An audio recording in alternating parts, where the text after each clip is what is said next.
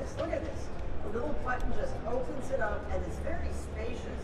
You think, but looking at it, you don't, don't think it's so deep and, and spacious, and, and you can fit so many things in. Yep.